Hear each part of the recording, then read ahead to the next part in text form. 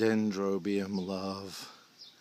Welcome to Orchid Love with John Massage on Maui.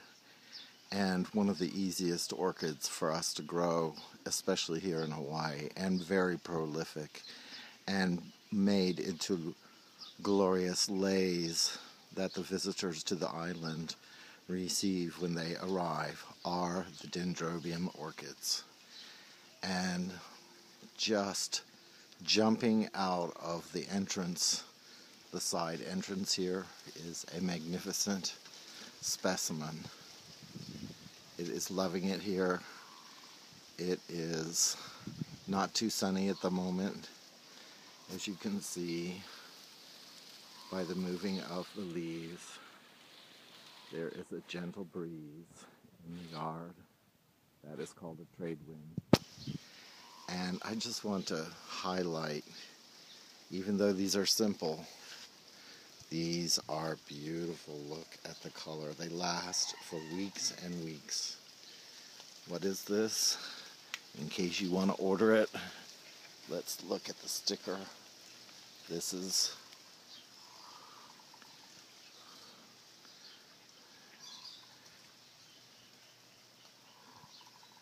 Dendrobium Maui's Dusty Rose called New Look.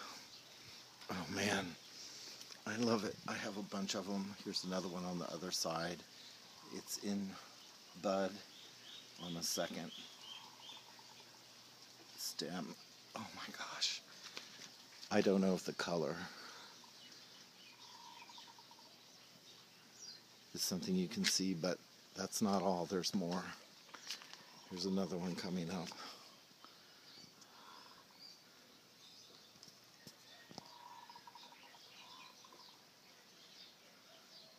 The infusion of color in the blooms of orchids completely bedazzle me. I cannot tell you enough how much I love them. And look, more growth coming up, more keikis coming up. So you see, this plant is all the way down here, goes all the way up. And reaches out of the orchid house. Here is another one in the yard.